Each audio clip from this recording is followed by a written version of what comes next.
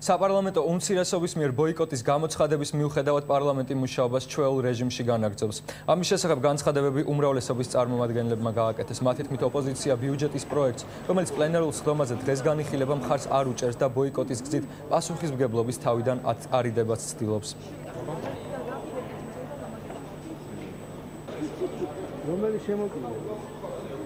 გააგრძელებს საქმიანობას, პარლამენტი მიიღებს კანონებს, პარლამენტი შეასრულებს თავის მოვალეობას. უმრავლესობა იმ ფუნქციებს, რაც მას აგესრია, ბოლომდე პირდაპირ შეასრულებს. ის რომ თურმე ქვაისროლეს, იქ რომ თურმე ვიღაც ვიღაც საგინებდა, ეს აბსოლუტურად მოგონილი ფაქტებია და ამის კადრიც არ არსებობს და არც ამის თვითმფრინავი.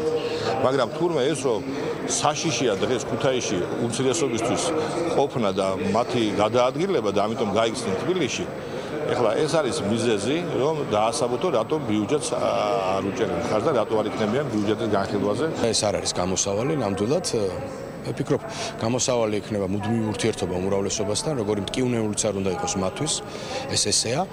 მე მგონი არავინ ილუზიით არ იყო შეპყრობილი, რომ 1 ოქტომბრის მერე ადამიანები პასუხს არ აგებდნენ იმაზე, რაც მათ 1 ოქტომბრამდე აქვს ჩადე